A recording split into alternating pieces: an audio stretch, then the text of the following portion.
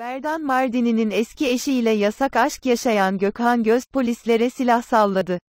Hakkında dört suçtan işlem başlatıldı. Şile'de modacı Gülşah Saraçoğlu'nun eski sevgilisi ve Berdan Mardini'nin eski eşi Fatoş Yellilerle yasak aşk yaşayan ardından da olaylı şekilde ayrılan Gökhan Göz, evine ihbara gelen polislere silahını sallayarak tepki gösterdi. Bu görüntülerden sonra özür dileyen göz hakkında, silah teşhiri, kişisel verilerin kaydedilmesi, kişisel verilerin hukuka aykırı olarak ele geçirilmesi ve görevli memura mukavemet işlem başlatıldı.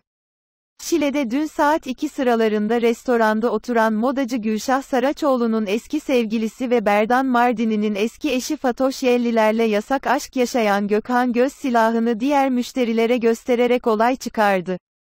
Durum polise bildirildi. Restorana gelen polis, şüpheliyi dışarı çıkardı. Ekipler, Gökhan Göz'ün silahını ve ruhsatını kontrol etmek istedi. Ancak polislere silahını sallayan ve tepki gösteren Göz, o anları yanındaki bir kişiye cep telefonu kamerasıyla kaydettirdi. Görüntülerde kameraya bir süre konuşan Göz'ün daha sonra silahını polise verirken yere kasten yere attığı görülüyor. Dört suçtan işlem şüphelinin ruhsatlı silahı ekipler tarafından muhafaza altına alındı. Gökhan Göz hakkında, silah teşhiri, kişisel verilerin kaydedilmesi, kişisel verilerin hukuka aykırı olarak ele geçirilmesi ve görevli memura mukavemet suçlarından adli işlem başlatıldı. Görüntülerin ardından Instagram hesabından açıklama yapan Göz, yanlış anlaşıldığını söyleyerek kendisini şu sözlerle savundu, dün yanlış anlaşılan duruma açıklamamdır, ben ve yardımcılarım gitmiş olduğumuz bir mekanda eğlenirken emniyet güçleri tarafından kibar bir şekilde dışarı davet edildim.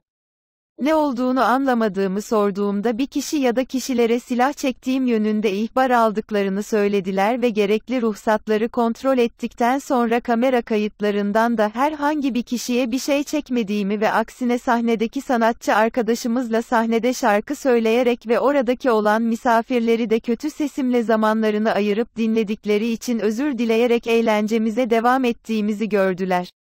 Emniyet ve tüm devlet görevlilerimize saygımız sonsuzdur. Basında çıkan haberlere itibar etmeyiniz. Her zamanki gibi prim yapabilmek için gerçek dışı paylaşımlarla şahsımı itibarsızlaştırmaya çalışıyorlar.